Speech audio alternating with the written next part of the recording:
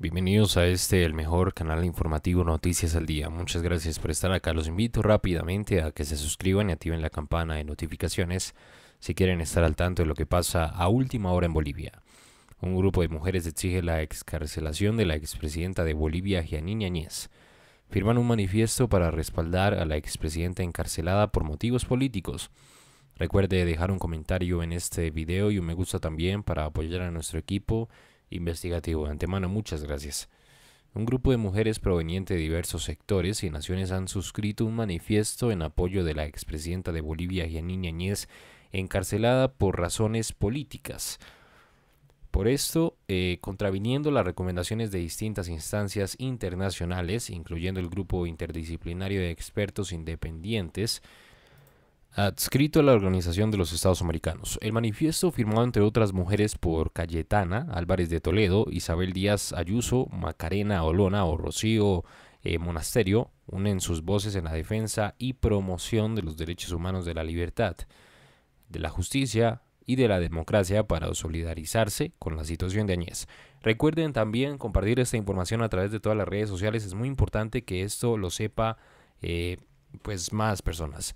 Esa sucesión constitucional y legítima en la presidencia de Bolivia tuvo el reconocimiento de buena parte de la comunidad internacional.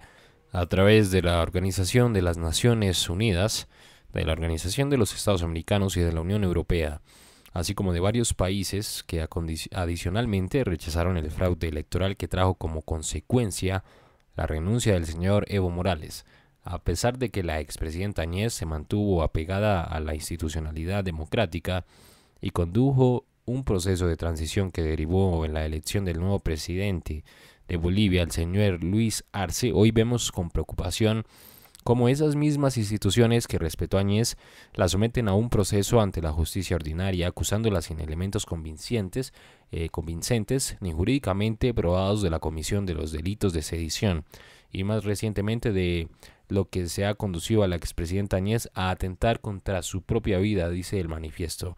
Todas estas acusaciones han sido denunciadas como amplias y abusivas según el GIEI de Bolivia, que ha pedido que se modifiquen en vista que no han sido cometidos tales delitos que pretenden imputársele. La expresidenta Añez es inocente, debe tener derecho a defenderse en libertad, dejar de permanecer detenida preventivamente. Así es como comentan. Recuerde suscribirse, activar la campana de notificaciones. También eh, quiero que sepa que nosotros, Noticias al Día, estamos 100% con el pueblo boliviano. Recuerde comentar y dejar un me gusta. Gracias por estar acá. Noticias al Día. La exdiputada Lidia Patti denunció que según información extraoficial, el padre de Luis Fernando Camacho, José Luis Camacho, habría fugado del país y no ha declarado por el caso golpe de Estado de 2019. Sí, nosotros vamos a pedir una entrevista con el fiscal de distrito para que él, mediante el procedimiento es que el fiscal de distrito envíe al distrito de Santa Cruz el requerimiento para que Luis Fernando Camacho declaré en Santa Cruz. En esta situación nos estamos ahorrando casi un mes de procedimiento, puesto que si él tal vez hubiera sido citado en La Paz, indicaría seguramente que estaba en peligro su vida. En Santa Cruz es un distrito que él vive, trabaja y no existe ningún pretexto para que pueda evadir la declaración. ¿Qué pasa con su padre que también era parte denunciado dentro de este proceso? Eh, de los antecedentes, o bueno, nos indican tal vez hubiera fugado del país, ¿no? Entonces estamos en ese proceso de investigación también, solicitando que todos declaren y que presenten sus descargos, porque todos son inocentes, ¿no? La presunción de inocencia se aplica a todo. ¿En base a qué información supuestamente habría fugado? Eh, bueno, sí estaban comentando redes, ¿no? Información extraoficial, ¿no? Pero en, los 12 cuerpos no, es, no está su declaración del señor. ¿Se ha pedido un informe a migración? Se lo va a realizar, eh, son casi seis meses, de los cuales tres semanas estoy en el caso. Le hago la invitación para que nos siga a través de las redes sociales y esté informado las 24 horas, Facebook, Twitter, YouTube e Instagram. También a través de nuestra página web www.transmedia.com.bo o descargue nuestra aplicación del Play Store Transmedia Ball para tener la programación de Transmedia las 24 horas diputado del MAS, Rolando Cuellar, afirmó que Yanine Áñez está haciendo un show político con su salud, ya que está estable y fuera de peligro. Bueno, primeramente es un show político de la señora Yanine Áñez.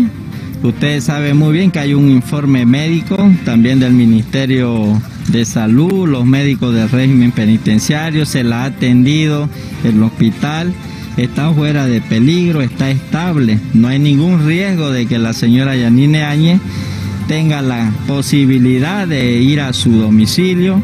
Ella tiene que seguir en el régimen penitenciario y la justicia tiene pues que condenarla a 30 años de cárcel. Realmente ya la justicia, hay mucha retardación de justicia, ya deberían sentenciarla, hay muchos elementos, hay pruebas, es totalmente un show. Imagínense, ha matado 37 más de 1.200 millones de dólares se han robado y todavía quiere ir a su casa.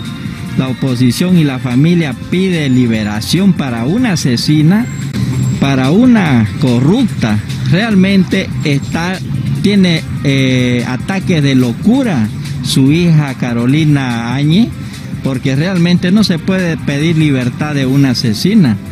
Realmente, si fuese así, pues entonces pediremos libertad para todos los de Bolivia.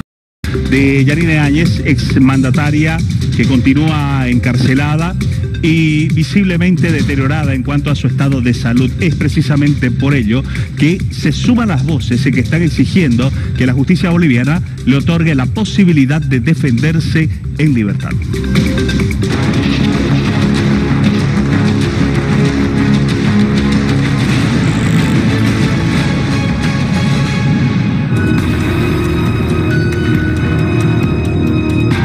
Conferencia Episcopal del país emitieron este lunes un comunicado en el que expresan su preocupación por la situación de la expresidente Yanine Áñez.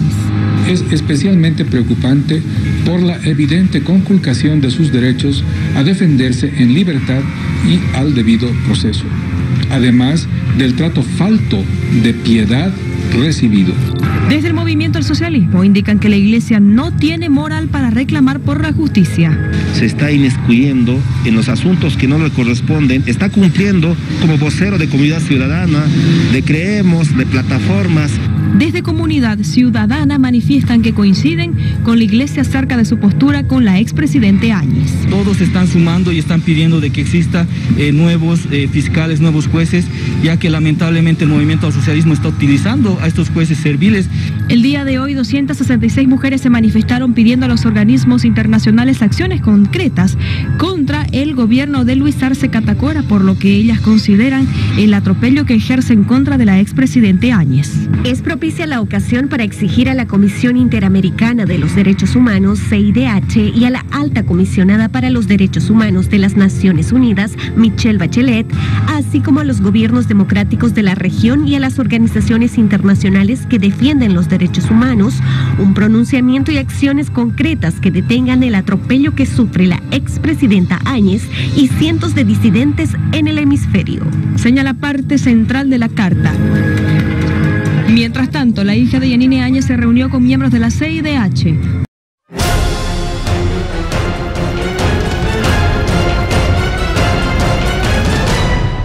Si no te quieres perder de los últimos acontecimientos que pasan en el mundo, suscríbete y activa la campana. Somos Noticias al Día.